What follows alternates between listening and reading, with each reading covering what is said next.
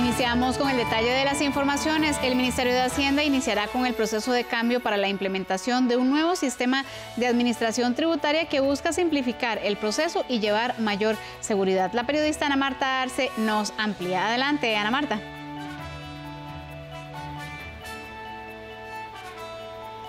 Hola, ¿qué tal? Muy buenas noches, Eisel, y a quienes nos sintonizan. Tal y como usted lo comenta, el Ministerio de Hacienda realizó este miércoles ya la firma del contrato para el desarrollo del sistema de administración tributaria, en donde se estarían unificando 20 sistemas en uno solo. Esto con el fin de simplificar los trámites y dar mayor seguridad. Pero veamos la siguiente información que hemos preparado.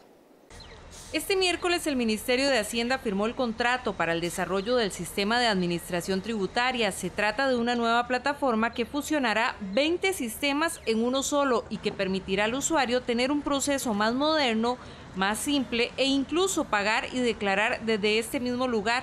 Según manifestó Nogui Acosta, ministro de Hacienda, se espera que a finales del próximo año los usuarios puedan contar con esta nueva alternativa desde el punto de vista de la gestión de los impuestos no va a cambiar nada.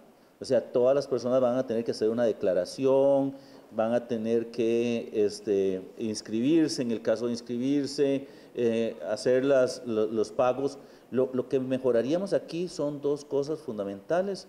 Va a ser mucho más sencillo para ellos el tema de inscribirse, el tema de generar información. Eh, nuestra eh, expectativas que podamos integrarlo con este, factura digital y entonces podamos tener prellenados de declaraciones. Eh, y, pero esto va a ser un proceso, digamos, en, el en, los próximos dos años.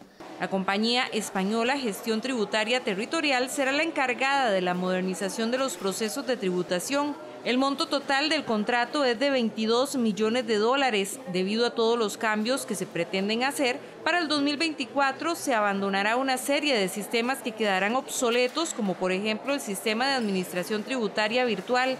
Hoy tenemos un sistema fragmentado en donde no necesariamente todos los sistemas conversan entre sí. Este sistema que estamos adquiriendo hoy o que firmamos el contrato hoy nos va a generar información actualizada, mejores bases de datos, parte integral del proceso o de, la contratación es que ellos nos ayuden a limpiar las bases de datos para poder tener información certera y así podríamos empezar a utilizar herramientas este, informáticas que nos permitan a nosotros ubicar evasores. El Ministerio de Hacienda espera que con esta nueva propuesta también se logre una mayor recaudación de impuestos.